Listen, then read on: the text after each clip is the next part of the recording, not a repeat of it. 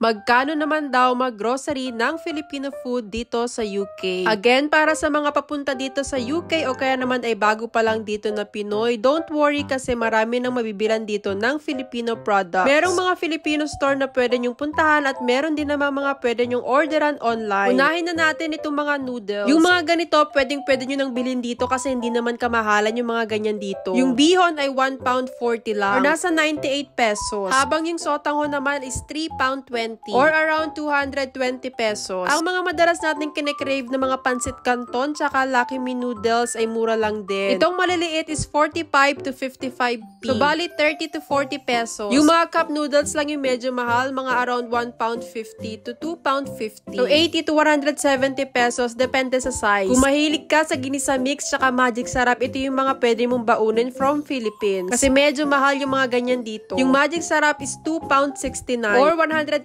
88 pesos per pack. Yung mga sinigang mix is 89p or 63 pesos. Yung mga Nor cubes naman is 2 pound 49 or 174 sa peso. Meron din namang nabibiling to yung dahon ng gabi. 2 to 3 pounds siya so multiply nyo na lang sa 70. Yung mga tuna na delata dito is 2 pounds or 140 pesos each. Itong sinantular is 4 pound 25. So almost 300 pesos na din. And halos same lang din ng price sa mga bagoong. Sa ibang store, pwedeng mas mataas, pwedeng mas mababa yung presyo. Pero hindi naman nalalayo dito. Mura lang din dito yung mga sardinas, 1 pound 25 or 87 pesos each. Yes, meron ding vitamins dito na pulang kabayo. Isang case niyan is 62 pounds. Sa peso, bali 4,000 plus isang case. Per piraso is 2 pound 69 or 200 pesos. Diba? Presyo pa lang, lasing ka na. Yung dato puti, suka at toyo naman is 5.49 or 384 pesos. Yung ketchup is 1 pound 65 or 115 pesos. Ang Tomas, ganun din yung price. Dalawang kilo ng malagkit na bigas is 5 pound 35 or 374 pesos. Ang paborito ng twins na stiko is 3 pound 99 or 279 pesos per garapon. While yung choco malos is 2 pound 49 or 174 pesos. Anyway, baka may magsabi na bakit kino-convert. Para meron lang din kayong idea or kung ano yung mga pwede nyong ibaon. Meron na ding itlog na maalat. Ito ay 6 pound 99 or 489 pesos. Meron nga din palang pochi na paborito din ng twins. 2 pound 89 or 200 pesos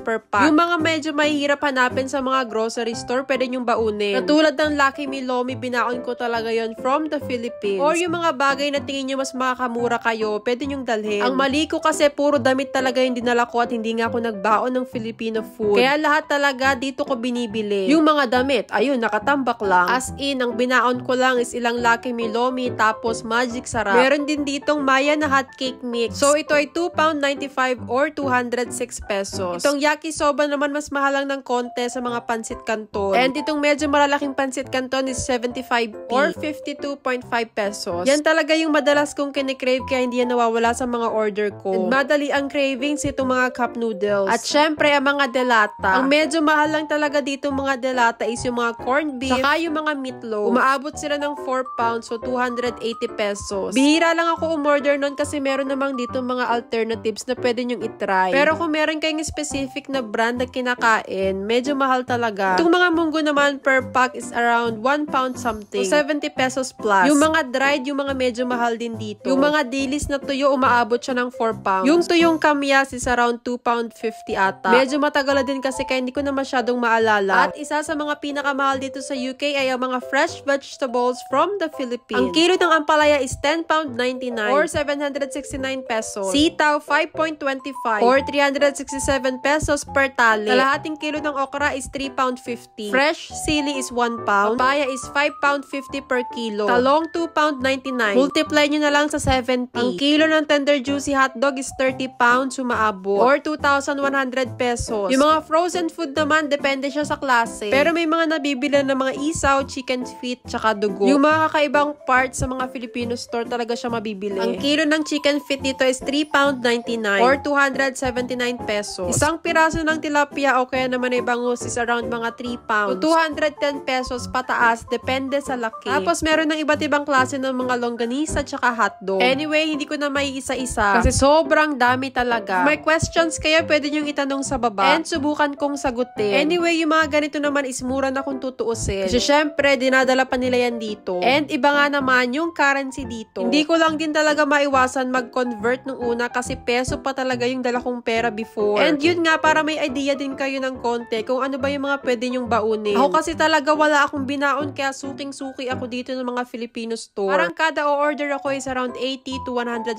pounds. Tapos bukod pa yung mga pinapadala ko dito na separate na box.